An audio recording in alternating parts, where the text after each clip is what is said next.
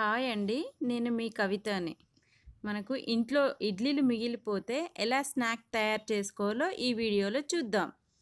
ముందుగా ఒక ప్యాన్ తీసుకొని దాంట్లో కొంచెం నెయ్యి కానీ, బటర్ కానీ వేసుకోవాలండి. ఆయిల్ తీసుకోకూడదు. మనం వేసిన నెయ్యి వేడెక్కే వరకు చూసి వేడెక్కినాక కొంచెం జీలకర్ర వేయాలి.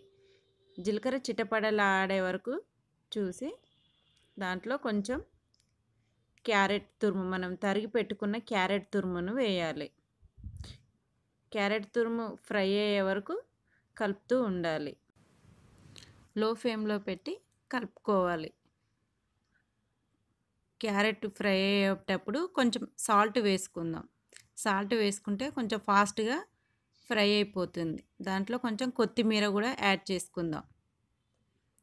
కొత్తిమీర కొంచెం ఫ్రై అయ్యాక మనము గార్లిక్‌ని పీసెస్‌గా కట్ చేసి ఉంచుకొని వాటిని కూడా వేద్దాం.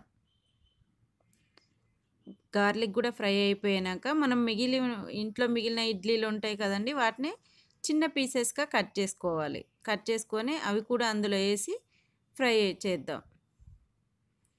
ఇడ్లీలు బాగా వేడెక్కే వరకు చూసుకోవాలి. దాంట్లో మనకు నేను ఫ్లాక్స్ సీడ్ పౌడర్ అంటే అవిసె గింజల కారం పౌడర్‌ని తీసుకున్నాను. మీరు పల్లి గింజల పౌడర్, కరివేపాకు పౌడర్, దోస గింజల పౌడర్ ఏ కారం పొడినైనా దాంట్లో యాడ్ చేసుకోవచ్చండి. కారం పొడి వేసినాక కొంచెం ఫ్రై చేయాలి. ఎక్కువగా ఫ్రై చేయకూడదు. Two minutes. మనకు రెడీ అయిపోయిందండి స్నాక్స్. పిల్లలు ఈవినింగ్ స్కూల్ నుంచి వచ్చాక ఎంతో ఇష్టంగా తింటారు దీన్ని.